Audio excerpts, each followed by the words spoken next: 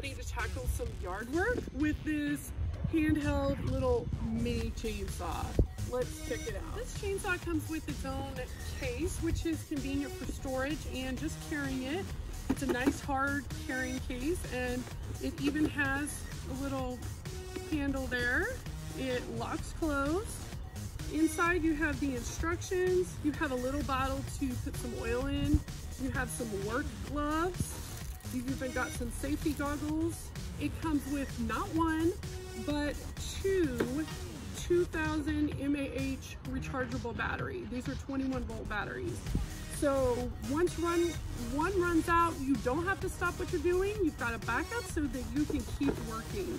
It even comes with a little screwdriver. So I'm gonna get this all set up and ready to go. So this chainsaw comes pretty much ready to use right out of the box. It has a 700 watt motor and it has a chain already installed. In addition, it comes with a backup chain. So if this breaks, then you've already got another one ready to go. To get this set up, you're just going to slide your battery in. It has a safety button right there.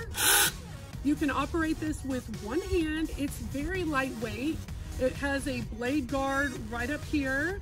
And this is surprisingly easy to use and it can cut a pretty decent sized branch. I'm gonna demonstrate on this branch right Got here. Got a pretty big branch and I'm ready to cut it.